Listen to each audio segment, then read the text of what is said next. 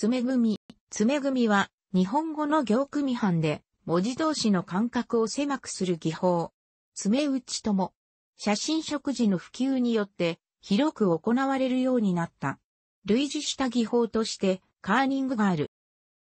日本語の伝統的な組版では、各々の文字が同一の大きさの正方形に収まるものとみなす。この正方形を仮想ボディと呼ぶ。仮想ボディを隙間なく並べて行を構成する組み方をベタ組と呼ぶ。さらに、仮想ボディを縦横に整然と配置することによって、ページを構成する組版の様式をマス組と呼ぶ。以降の節では、ベタ組と各種の詰め組の違いを解説する。図1と図2で、文字の周りを囲む青い実線は仮想ボディを示し、それより小さめの青い点線は字面を示す。仮想ボディの大きさには字面よりも若干余裕がある。この余裕は漢字の場合は一定で仮想ボディの10%前後となる。組版の表情を変えるために文字の間隔を均等に狭めたり広げたりすることある。爪組はベタ組よりも狭める場合を言う。角は時間空き3、32M はベタ組 Y1、32M 詰めの爪組文字同士が食い込み合うことのないギリギリまで詰めた詰め組である。組版指定では、ベタ組よりもやや詰めることを詰め、ギリギリまで詰めることを詰め詰めと表現することがある。なお、ラテン文字やギリシア文字などの、いわゆるオーブン組版では、字送りの量は隣り合う文字の組み合わせによって決まるため、一定ではなく、文字同士が食い込み合ったり特殊な合字を作ったりする場合もある。これは詰め組とは異なる。王子では、時間を書体の設計以上に詰めると、サイドベアリングがなくなってしまい、可読性を著しく損ねる。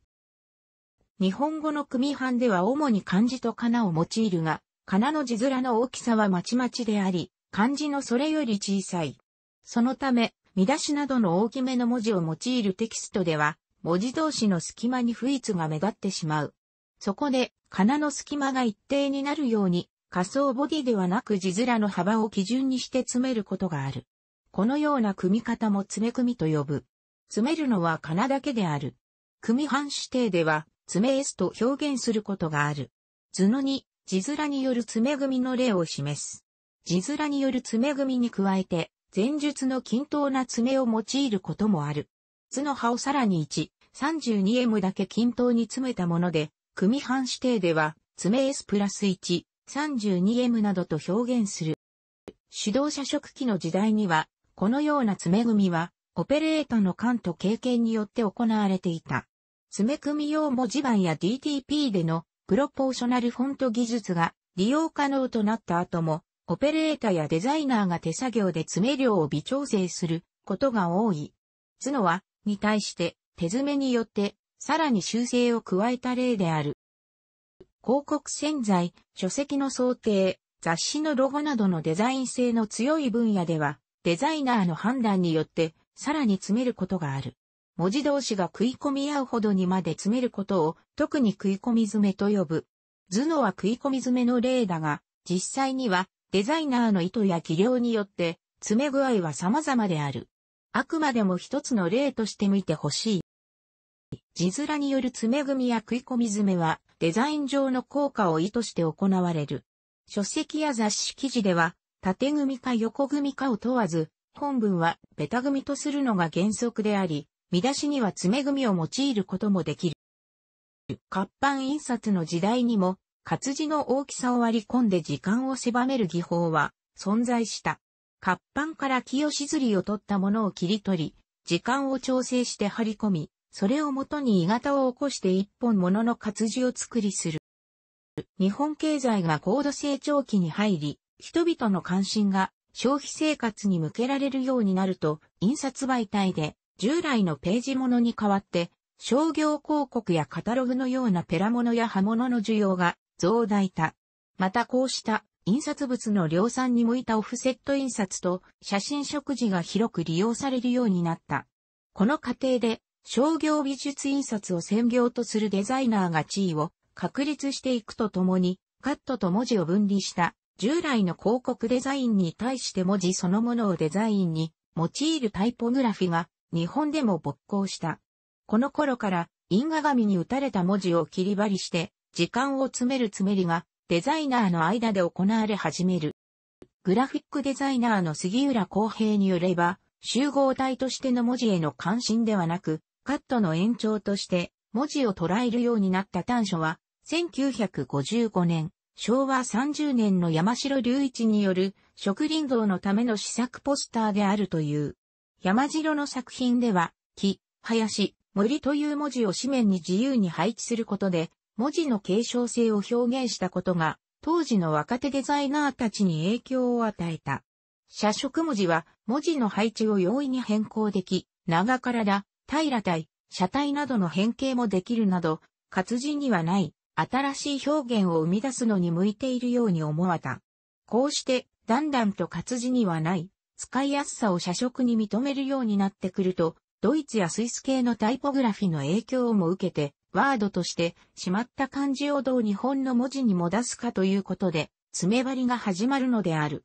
杉浦は当時の仕事を振り返って、1957年、昭和32年頃から詰め張りを始め、1960年、昭和35年頃からは完全に詰めるようになったと述べている。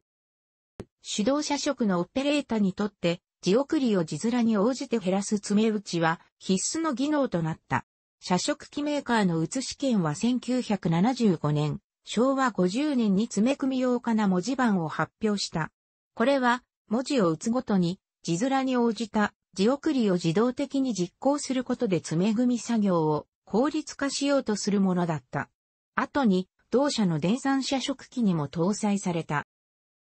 日本のグラフィックデザインは1980年代頃から紙上のレイアウト作業からパーソナルコンピュータを用いたデスクトップパブリッシングに移行し始める。コンピュータ上のオーブンフォントではすでに不定幅の文字やカーニングペアに対応するためプロポーショナルフォント技術が実用されていたが、これを日本語の仮名にも応用したフォントが生まれた。Adobe Systems は PostScript フォント用文字セットの2000年版である Adobe Japan 1-4で仮名にプロポーショナル幅のグリフを追加した。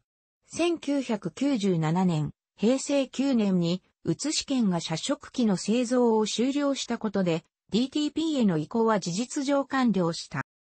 今日では、ロゴタイプ、広告のキャッチコピー、書籍や雑誌の見出しなどで詰め組みが一般的になっているが、本文の組み方は依然としてマス組みが主流である。一方で、ウェブブラウザなどを使って紙の紙面ではなくコンピュータディスプレイの上で文章を読む機会も増えており、本文が必ずしも等幅フォントで表示されない状況も起こっている。編集者の角海太郎は1995年、平成7年のエッセイ、本はどのように消えてゆくのかで、爪打ちや爪張りが活版印刷によって養われた私たちの美観に与えた影響は意外に大きかったようである。縦横きちんと揃った増賀匠藩の支配力が幾分か揺らぎ始めたように、私には感じられる。と表し、遠からず、通常の本や雑誌の本文組にもこの手法が進出してくるに違いないと述べている。ただし彼はその条件として漢字とのバランスの取れた読みやすいプロポーショナル名書体が必要だとしている。楽しくご覧になりましたら購読と良いです。クリックしてください。